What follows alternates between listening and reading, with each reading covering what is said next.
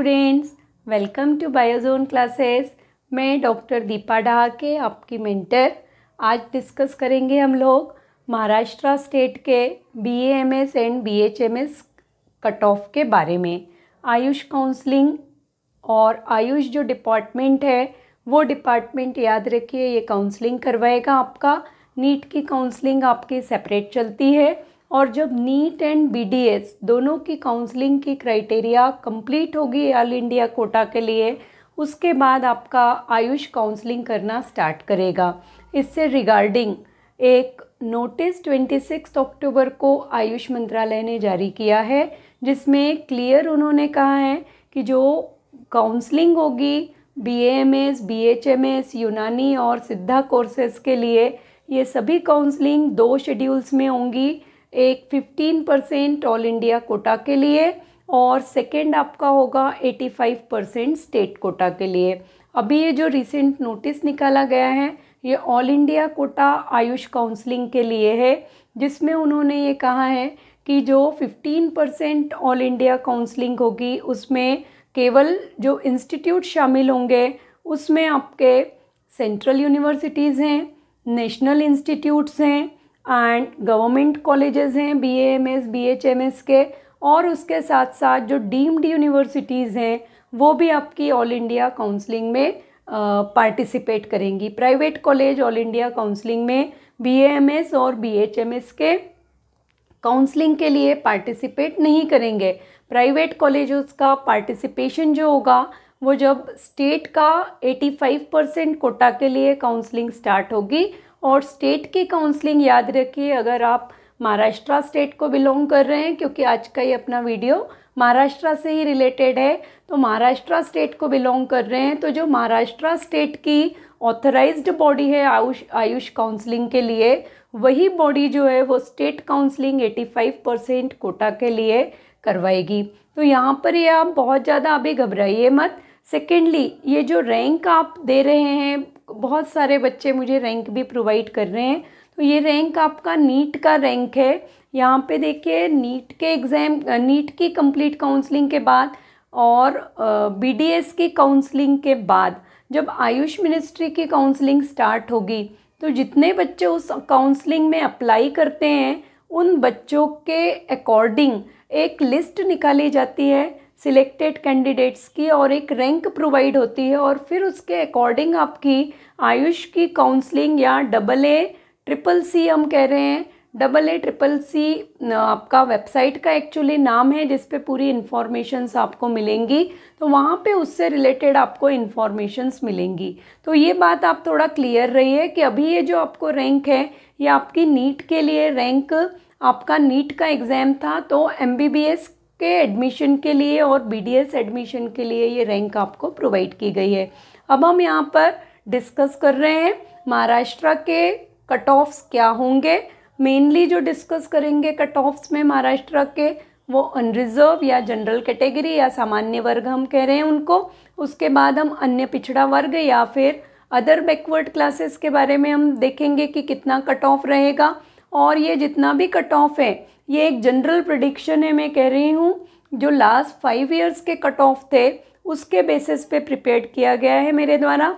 और हो सकता है कि इस जनरल कट ऑफ़ के अकॉर्डिंग टेन मार्क्स आपके ऊपर या नीचे हो सकते हैं। तो एज इट इज़ उसको एक आप डेडलाइन मान के मत चलिए। हो सकता है, अगर मैं कह रही हूँ कि जनरल कैटेगरी या अनरिजर्व कैटेगरी में 460 प्लस है तो हो सकता है कि वो 450 भी जा सकता है या 470 भी जा सकता है। Secondly schedule caste and schedule tribe के लिए भी हम लोग यहाँ पे देखेंगे कि क्या रहेगा।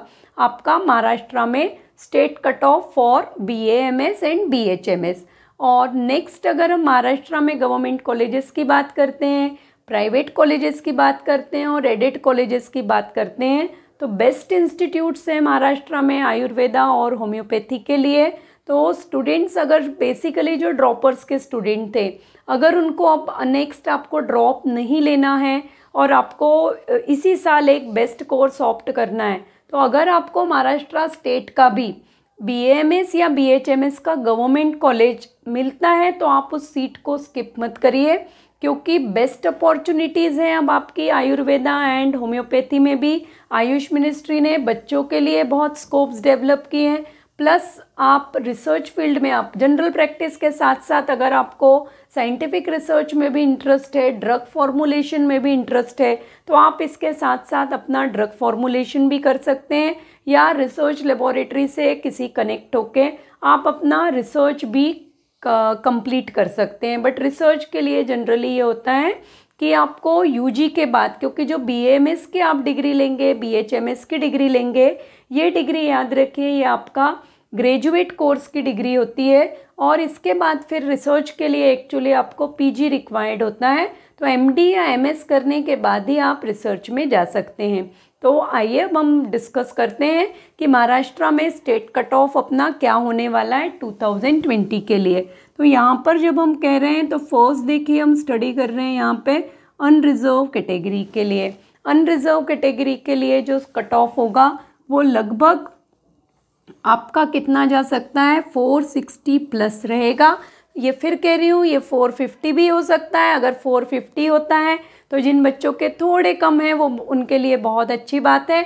और 470 है तो जो 460 क्रॉस कर रहे हैं, वो बच्चे गवर्नमेंट कॉलेज की सीट ले लेंगे। आफ्टर दैट हम आते हैं अदर बैकवर्ड क्लासेस और फिर देखिए आपका पिछड़ी जाति। पिछड़ी जाति में अगर हम देख रहे हैं तो पिछड़ी जाति में आप देखिएगा, यहाँ पर आपका होगा 430 प्लस मतलब जिन बच्चों को 430 या 430 से ज़्यादा मार्क्स है, वो अपनी गवर्नमेंट कॉलेज की सीट मान सकते हैं कि उनको B M S B H M S का फिर देखिए, जो बी एच एम एस का कट ऑफ़ होता है, वो हमारा, ये मैं बता रही हूँ बी एम एस का।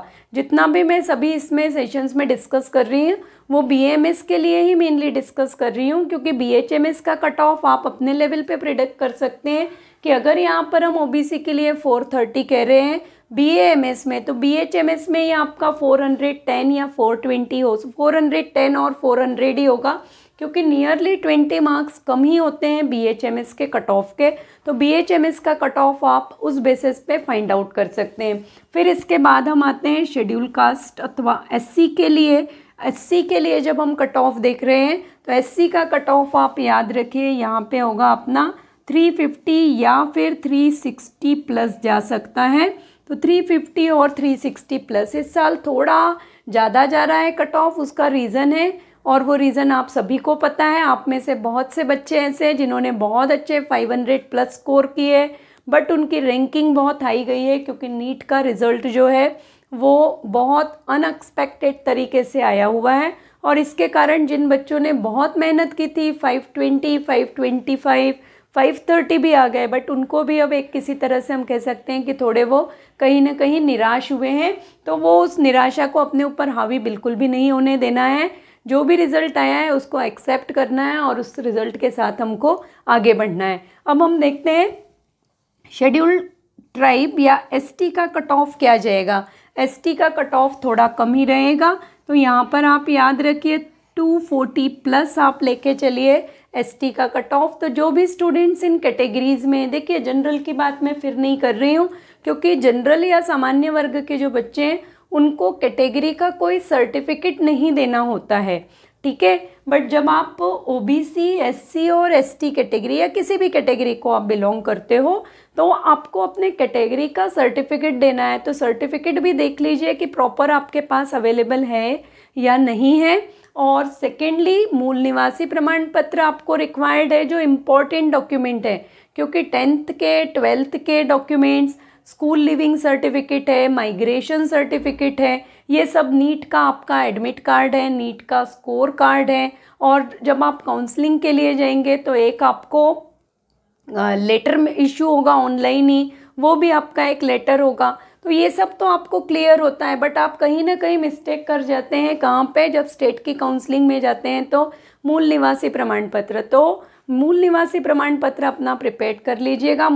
दो प्रकार के, ये लास्ट सेशन में भी मैंने अपने वीडियोस में बताया है। एक स्थानीय निवासी प्रमाण पत्र होता है और एक मूल निवासी। स्थानीय निवासी प्रमाण पत्र उन बच्चों के लिए चल जाता है जिन्हों, जो महाराष्ट्र के ही हैं, और उन्होंने टेंथ और ट्वेल्थ अपना महाराष्ट्र बोर्ड से ही किया है। पर अगर आप महाराष्ट्र स्टेट के हैं बट कंपटीशन को प्रिपेयर करने के लिए आपने ट्वेल्थ इलेवन ट्वेल्थ किसी और स्टेट से दिया है, या टेंथ और ट्वेल्थ का एग्ज़ाम आपने किसी और स्टेट से दिया है तो उस कंडीशन में आपको वहाँ का डोमिसाइल सर्टिफिकेट या मूल निवासी प्रमाण पत्र लगता है। तो वो प्रमाण पत्र आप अपने पास प्रिपेयर्ड रखिए, पूरे डॉक्यूमेंट्स प्रिपेयर्ड रखिए फोटोग्राफ्स प्रिपेयर्ड रखिए और अगर ये कट ऑफ़ आप इसके आसपास भी कट ऑफ़ के आ रहे हैं तो थोड़ा खुश होइए क्योंकि अभी तो बच्चे नीट के रिज़ल्ट के कारण रैंक के कारण बहुत ही ज़्यादा थोड़े निराश टाइप के हैं। तो आप लिटिल बिट हैप्पी हो सकते हैं कि आपको at least B M S और बी एच एम एस का गवर्नमेंट कॉलेज की सीट मिलेगी। दूसरा मैं यहाँ पे ये कह रही हूँ कि आप लोगों के जैसे जैसे डिमांड्स आ रहे हैं, उसके अकॉर्डिंग मैं अब आप लोगों के लिए ही ये वीडियो सेशंस लेकर आ रही हूँ। और अगर आपको ये सेशंस पसंद आ रहे हैं, मैं अपनी तरफ़ से काफ़ी एफ़र्ट्स करने की कोशिश कर रही हूँ। तो मेरे एफ़र्ट्स भी आपको अगर पसंद आ रहे हैं तो काइंडली चैनल को सब्सक्राइब करिएगा। लाइक करिएगा और शेयर भी करिएगा ताकि आपके जो फ्रेंड्स वगैरह हैं, उनको भी टाइम टू टाइम या आपके साथ जो जूनियर स्टूडेंट्स हैं, उनको टाइम टू टाइम थोड़ा करेक्ट गाइडेंस मिलता रहे।